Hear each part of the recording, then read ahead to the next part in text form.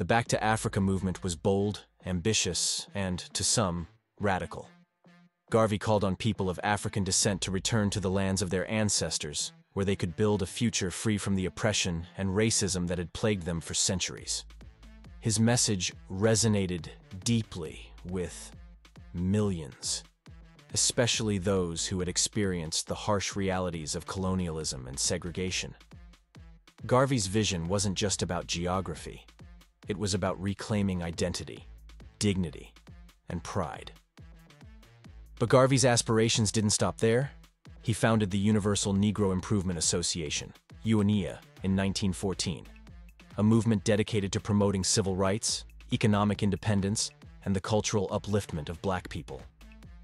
The UNIA quickly grew into a global organization, with branches in the United States, the Caribbean, and beyond.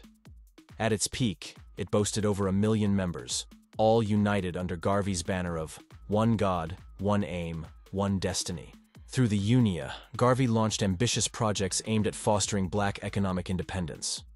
The most famous of these was the Black Star Line, a shipping company intended to facilitate trade among black communities around the world and eventually transport people back to Africa. The Black Star Line symbolized Garvey's dream of a self-sufficient, empowered black diaspora, but it also became the source of his downfall. In 1923, Garvey was arrested and charged with mail fraud related to the Black Star Line. The trial was controversial, with many believing that Garvey was targeted because of his growing influence and his unapologetic stance on black empowerment. Despite his efforts to appeal, Garvey was sentenced to five years in prison. He served his time at the Atlanta Federal Penitentiary, a period that marked a turning point in his life. After his sentence was commuted by President Calvin Coolidge in 1927, Garvey was deported to Jamaica. But the man who returned home was not the same one who had left. Although he tried to reintegrate into Jamaican politics, even running for public office, his efforts were largely unsuccessful. Many of his followers lacked the proper voter qualifications, and his defeat marked the end of his political aspirations in Jamaica. Despite these setbacks, Marcus Garvey's impact was undeniable. His message of black pride and self-determination inspired future generations of leaders and activists, from Malcolm X to Nelson Mandela. Though he never saw his dream of a united Africa realized, Garvey's legacy lives on. In Jamaica, he is celebrated as a national hero, a man whose ideas helped ignite the flames of black nationalism and set the stage for the island's eventual independence. The story of Marcus Garvey is one of vision, struggle, and unwavering conviction. He faced tremendous obstacles, yet his ideas have endured, shaping the course of history and the identity of people across the African diaspora. Marcus Garvey's life was a testament to the power of belief and the strength of a unified people. His dream of a liberated black community may not have been fully realized in his lifetime, but his influence continues to ripple across the world. The seeds he planted have grown into movements, revolutions, and lasting change. The winds of change swept through colonial Jamaica in the 1930s, stirring a powerful wave of nationalist sentiment. Across the British West Indies, a deep sense of injustice took hold, fueled by the stark inequalities between the native population and the British colonial elite. The labor unrest that gripped the region from 1934 to 1939 was more than just a series of protests. It was the spark that ignited Jamaica's political awakening. As the people of Jamaica began to voice their frustrations, one man rose to capture their hopes and dreams, Alexander Bustamante. A white, native-born moneylender, Bustamante was an unlikely hero in the fight for Jamaican autonomy. Yet his passionate speeches and tireless advocacy for workers' rights struck a chord with the island's black youth and working class. Bustamante had a vision for Jamaica, one where power was shared more equally, and the island's future was in the hands of its people. In response to the growing unrest, Bustamante founded the Bustamante Industrial Trade Union, a powerful force that gave voice to the demands of Jamaican workers. He called for greater autonomy, fairer wages, and an end to the economic disparities that had long defined life under British rule. But his activism came at a cost. In September 1940, during a waterfront protest, colonial authorities arrested Bustamante, viewing him as a dangerous agitator he spent nearly two years behind bars, a martyr in the eyes of many who admired his courage and conviction. While Bustamante was incarcerated, his influence continued to grow.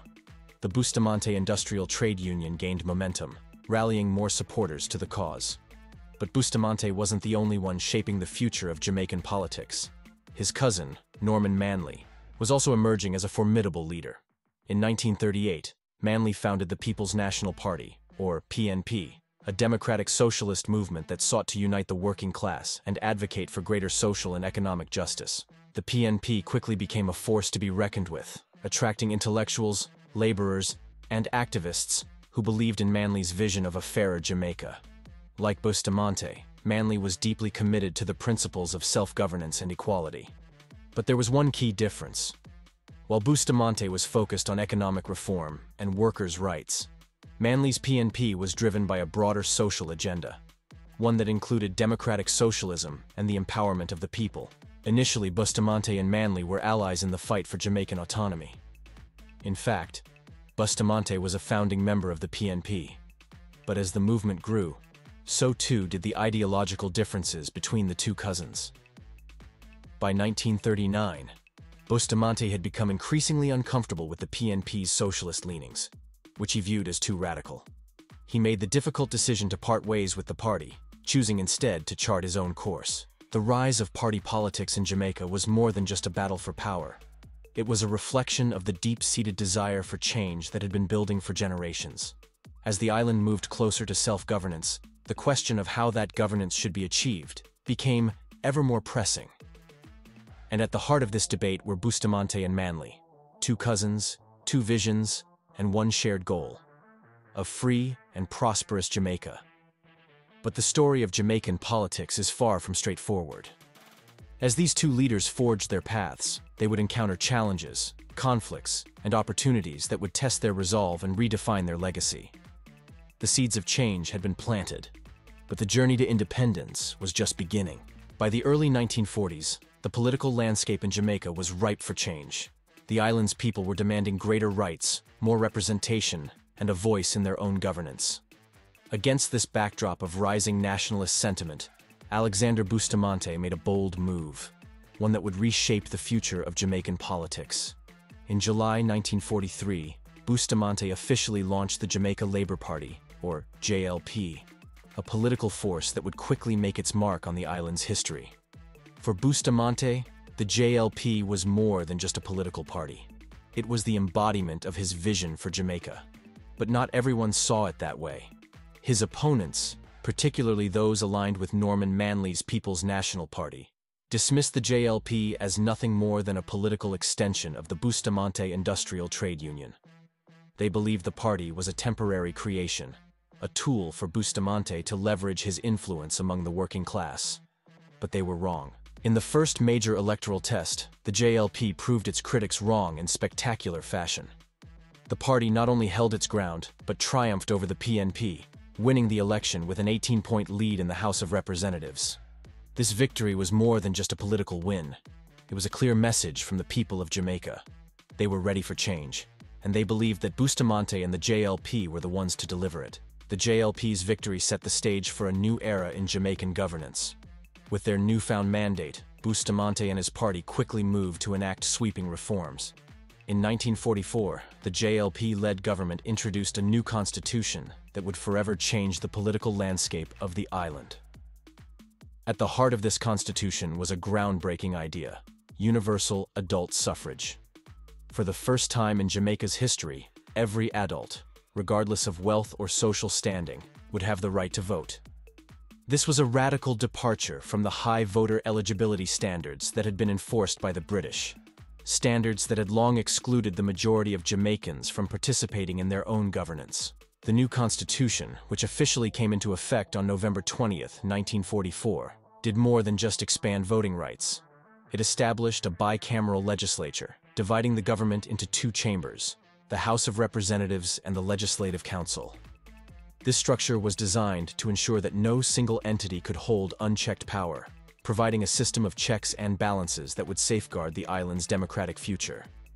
But the changes didn't stop there. The Constitution also created a new position, the Premier, who would serve as the head of government. This role, held by the leader of the majority party, was designed to steer the island's governance and lead the Executive Council, a body made up of 10 members of the legislature. Together, these leaders would chart the course for Jamaica's future, making decisions that would impact generations to come. With the implementation of this new constitution, Jamaica took a significant step towards self-governance. The island was no longer just a colony under British rule. It was becoming a nation with its own political identity, its own leaders, and its own path forward.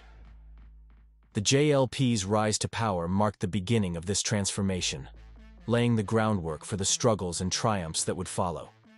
But the story of Jamaica's journey doesn't end here. The fight for true independence, equality, and self-determination would continue, driven by the ideals that Bustamante and his supporters had set in motion. The seeds of change had been planted, and the island was on the brink of a new era, one filled with promise, challenges, and the unyielding spirit of a people determined to be free. As the world emerged from the shadows of World War II, a powerful wave of change began to sweep across the globe. The age of empires was coming to an end, and the call for independence echoed from every corner of the British Empire. Jamaica, too, stood at the threshold of a new era, poised to transform from a crown colony into an independent nation. But this transformation was neither simple nor swift. It was a journey marked by political battles, bold leadership, and the relentless pursuit of self-determination. In the years following the war, the political landscape in Jamaica was dominated by two powerful forces, the People's National Party PNP, and the Jamaica Labour Party, JLP.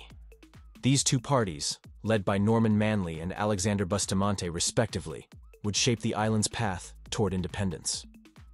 Throughout the 1950s, the houses of the legislature saw power swing back and forth between these rivals, reflecting the island's growing political maturity and the fierce debates over its future. Norman Manley, a visionary leader and a founding figure of the PNP, played a pivotal role in accelerating Jamaica's journey toward independence. Elected chief minister in 1955, Manley was determined to see Jamaica govern itself. He pushed through a series of constitutional amendments that expanded the powers of the local government, laying the groundwork for greater self-rule. Under his leadership, a cabinet of ministers was established, each responsible for key areas of governance. And for the first time, Jamaica had a prime minister at the helm of this new cabinet. But Manley's ambitions extended beyond the borders of Jamaica. He envisioned a united Caribbean, one that could stand as a powerful, independent entity on the world stage. In pursuit of this dream, he led Jamaica into the West Indies Federation, a political union of 10 British colonial territories, including Trinidad and Tobago, Barbados, and others. This was a bold experiment, one that had the potential to create a single, independent state out of these diverse islands. However, the reality of the Federation was far more complex. While Manley saw it as a stepping stone to full independence, many Jamaicans were skeptical. The idea of pooling sovereignty with other islands, each with its own unique identity and challenges, was met with resistance. The question of whether Jamaica should remain in the Federation became a defining issue of Manley's tenure as Premier. In 1961, the debate came to a head with a national referendum. The people of Jamaica were asked to decide their future, stay in the Federation or go their own way. The result was clear. Jamaicans voted overwhelmingly to withdraw from the Union, a decision that would set the stage for the island's final steps toward full independence. The West Indies Federation, unable to survive without its largest member, collapsed soon after with Trinidad and Tobago following Jamaica's lead and exiting the Union. The collapse of the Federation marked the beginning of the end of colonial rule in Jamaica. In the wake of the referendum, Manley and his government moved quickly to secure Jamaica's independence. The transition from colony to nation was now inevitable, driven by the will of the people and the determination of its leaders. But the journey was far from over. The political battles, the challenges of nation building, and the quest for a truly independent identity would continue to shape Jamaica's destiny. As the island prepared to take its place among the nations of the world, the legacy of these years, the decisions made, the risks taken, would resonate for generations to come. Jamaica's path to independence was a complex and often tumultuous journey, marked by moments of triumph and tension alike. Yet through it all, the island's leaders and its people remained focused on the goal of self-governance and national pride. The foundation had been laid. The stage was set for Jamaica to finally step out from the shadow of colonialism and into the light of independence. The year was 1962, and the winds of change were sweeping across Jamaica. After years of political struggle, social movements, and the relentless drive for self-governance, the island was on the cusp of a monumental transformation.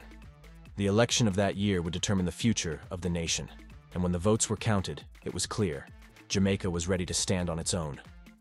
In the 1962 elections, the Jamaica Labour Party, JLP, led by Sir Alexander Bustamante, secured a decisive victory over the People's National Party, PNP.